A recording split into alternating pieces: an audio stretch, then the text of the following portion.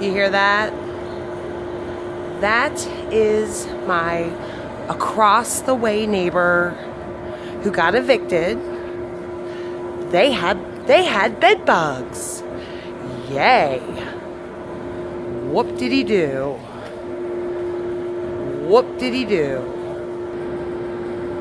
This is the lady that did not work. She had like five kids and was pregnant. And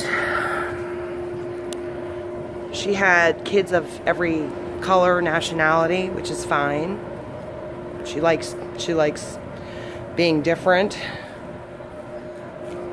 But I knew she had bed bugs because they literally would keep junk, blankets, towels, beds, mattresses out on their patio for months before she got evicted.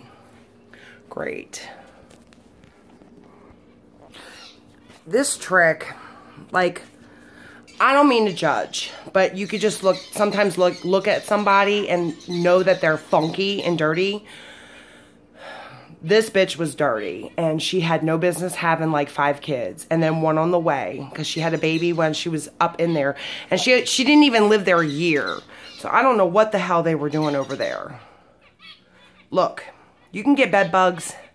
Anyone can get bed bugs. It's a national epidemic now. But I knew she had bed bugs. I knew that bitch had bed bugs.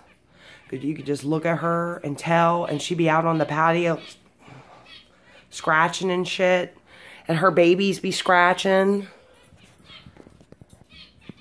I'm not a judgy person. I'm so not a judgy person. I'm fat myself. I am six feet tall. I look like a monster. Trust me. You can't say anything to me that I have not already heard all my life. But that bitch was nasty. That trick was nasty. And she just did not care. And now they have to spray for bed bugs. And I thank the Lord Jesus that she did not live on top of me because her kids were horrible. They would like literally fling themselves over the balcony. She had like six kids. Then she had some other crazy girl like living with her. I don't know if it was her sister. I don't know if it was like her friend. I have no idea. But that bitch was nasty. Bed bug bitch. And I'm not saying that any you know anybody can get bed bugs it's not a poor person thing it's not a ghetto person thing rich people could get bed bugs if you buy something at a secondhand place even now today i've heard that like even new materials have bed bugs in them sometimes because it's such an epidemic they're hard to kill but that bitch was gross and she's gone now. She got evicted. Like she lived there like eight months. How do you not work and get assistance and still get evicted? I, I don't get it. And then have bed bugs on top of that. I don't understand. I don't understand. If I had assistance, which I did at one time, I've had assistance before. I've had food stamps before. I've had, you know, assistance. I kept my house clean as shit if I even saw a bug, I'd be like, oh, nope, uh-uh, nope. It's called, you have too many children. You have too many children. Stop having kids. Maybe then you can focus on your house and not have bed bugs. If you see a bug, then you can nip it in the bud. But she didn't do that. Clarksmith Adventures! Bye.